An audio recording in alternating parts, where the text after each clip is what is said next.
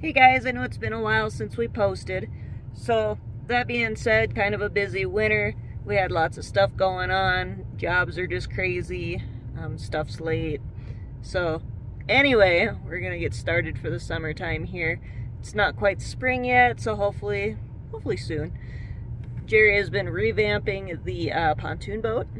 So we will see what all of his little tips, tricks, changes are, his refab even I'm not really sure what's going on yet.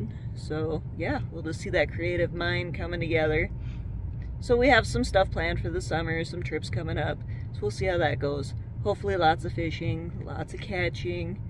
Otherwise, just wanted to put some up here, see how everyone was doing, let you know we're still around. Um, also show off my hair a little bit. It's all, it's all crazy for Easter. I think it turned out amazing. Anyway, I'll probably do an update on that too. We'll see how this one fades out. Sometimes they're good, sometimes they're not so good. But, uh, yeah, so we'll see how that goes.